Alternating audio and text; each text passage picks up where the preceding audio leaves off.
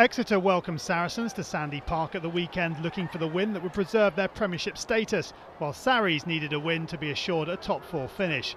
Saracens, who were surprisingly beaten by the Chiefs back in October, got the better start in this one. Two close range penalties from Alex Goode in the 12th and 16th minute gave them a 6 0 lead.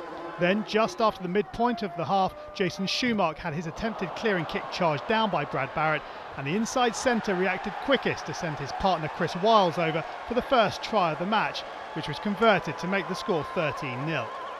Exeter had shown a few promising signs and eventually got on the scoreboard when Jason Shoemark opened his Premiership try account for Exeter when he crossed the whitewash five minutes from the break. Steenson missed the conversion, meaning the half-time score was Exeter 5, Saracens 13. Into the second period, and Saracens extended their lead with a penalty and a drop goal before they scored their second try of the match. Noah Cato received the ball in his own half before going off on a run that miraculously led to him crossing the line. Exeter will be disappointed with their defensive effort. Alex Goode kicked a great conversion to extend Sarries' lead to 19. Five minutes later, they scored again. A rolling maul was finished off with Rhys Gill emerging with the ball from the bottom of the pile for his first Premiership try. Goode was on target again, and suddenly Sarries had seven minutes to find a bonus point try. But it wasn't to be, as the last score went to Exeter, who got a second try at the death through Sireli Naqelevuki after a sustained period of pressure.